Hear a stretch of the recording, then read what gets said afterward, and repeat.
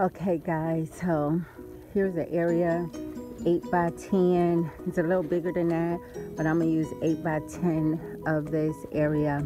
Create um, a um, patio same as this walkway using the WalkMaker. And this time I'm a little smarter. I have I've rented a, a um, cement mixer because that's the longest part of this job um, I have a mixer, uh, my bucket and my shovel and my wheelbarrow.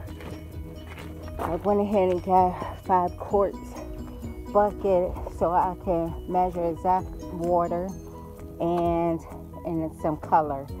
And so have my trowels and ready to go. Um, hopefully it doesn't take me as long as it did before with this path. It took me seven hours, eight stones, but that was because I did it manually, the cement. But I have two path makers modes and I have my helper. My son is here. He's going to help me He'll mix the concrete while I set the stones in place.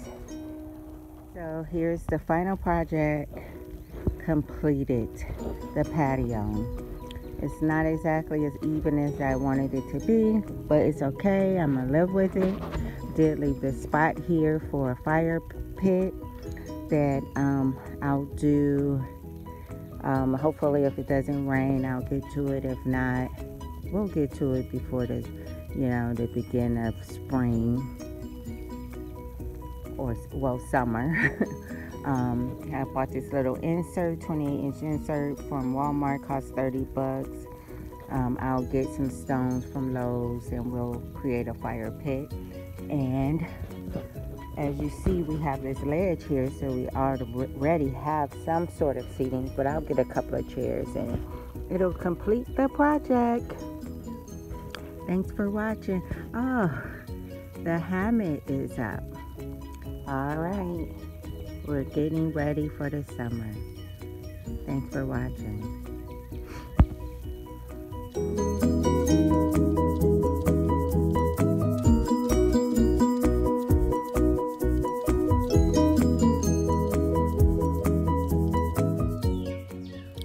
Quick guys I just went to Walmart bought some bricks to create that fire pit on my patio. And the bricks have a little edge on it. And all I did was take a chisel and a hammer knocked off that corner edge stacked the bricks around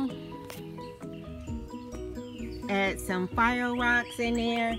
And like I said I just purchased this insert from Walmart.